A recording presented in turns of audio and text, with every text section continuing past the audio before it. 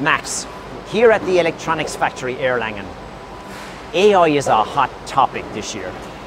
How, how is AI playing into what you're doing here? AI is actually playing a super crucial role in many processes that we have today. So, for example, here this robot is picking parts by AI. Um, quality control is often done with AI, um, and also process optimization all the time.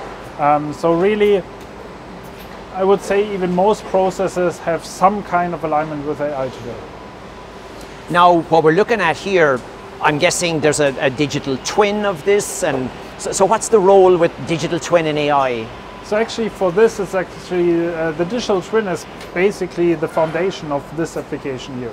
Um, so this is actually trained purely on synthetic data. So this robot has not seen a real image during training. So it's completely trained on the digital twin and still runs robustly in the real world. This station alone has more than a million picks. Um, oh, wow. And this is based on the digital twin only. Use similar technology, for example, to do quality control because if you can find a part and see where it is in order to pick it, you can do the same to check if it was, for example, assembled in the right way. So um, we actually use this technology quite a lot. And because we can train it directly from the digital twin, um, we basically have no training effort to do so in the first place. Um, so it's a very low cost, easy to install system that is, however, highly robust due to the AI algorithms that we do use. So, yeah. How do you see AI playing into sustainability? So exactly this use case here, for example, um, if you wanted to automate something like this five years ago, um, each and every part that you assemble in this line would need to be brought in here uh, with an inlay. Uh, so basically there's a plastic part where all the parts sit in so the robot can just directly pick them up. Oh, so it knows um, which one to pick. So it knows where it is exactly without having to find it. Um, this robot, however, can work with totally chaotic materials, so there is no need to produce inlays here anymore. So actually in this line here, for example, this was the first pilot cell, um, and it was actually born from exactly that um, problem because we saw in every other cell you had to design an inlay, make a tool that actually produces that, then produce 100, 200, 500 of those inlays, um, you have to wash them, you have to get them to the supplier. They have to fill them manually, transport them ah, here. So okay. So, so th this is a huge process chain that just becomes completely um, pointless if yeah. you can do this picking. And so in this line, this was the pilot use case. We are just building up another line, and this technology is used in every cell because it's just so ubiquitous to use and it has so much benefit also for the logistic chain um, so this is actually something you can use basically in every assembly process.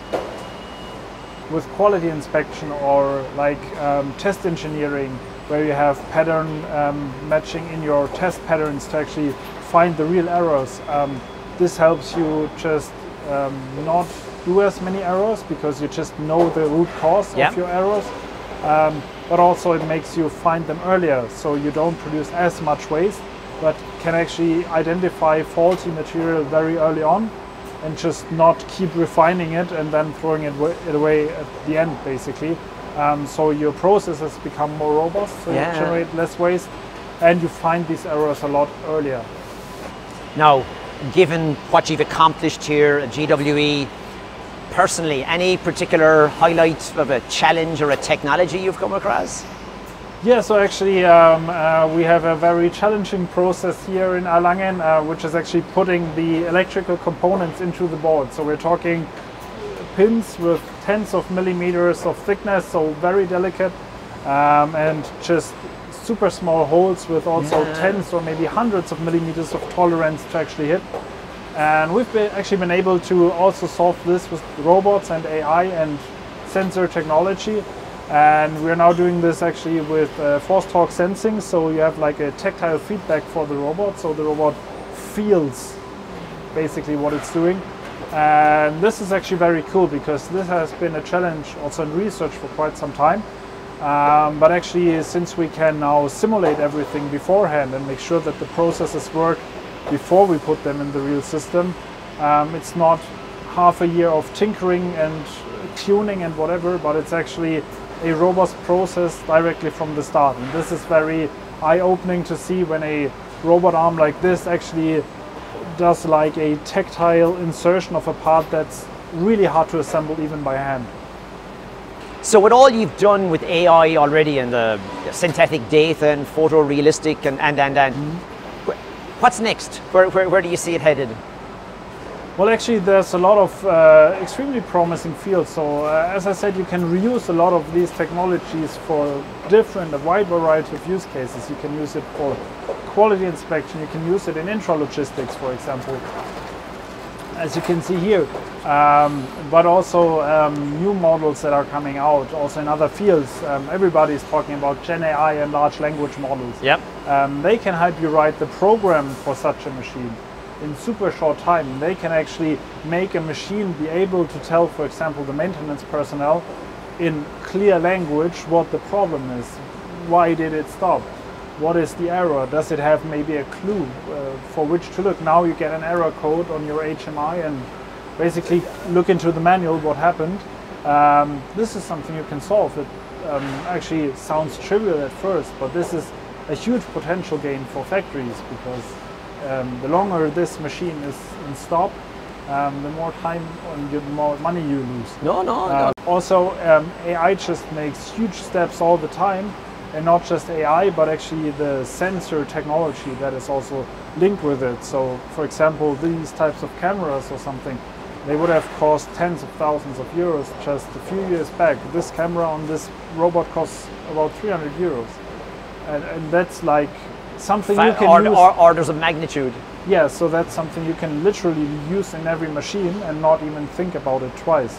Um, so this is, I think, where also the scale effect for uh, AI will come from. That it's actually not something you purposely put into somewhere because you need it for that exact use case, but it's actually something that's just so easy to use, so straightforward to use, and so cheap to implement that it's just you'll just use it everywhere because why not?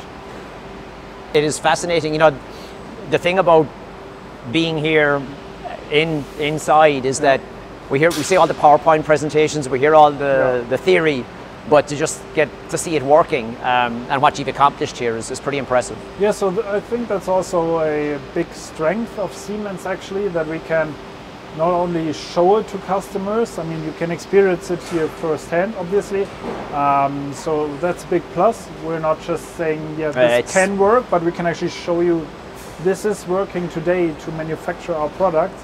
Um, but actually gives us also the possibility to have a playground. As I said, this cell, for example, has done more than a million picks, just this cell alone. So there's just the possibility to really see if it's industrial grade to really see if this is ready for a customer. This is something that you only have if you have your own manufacturing. Hey, good stuff. Thank you very much. Yeah, sure. Thank you.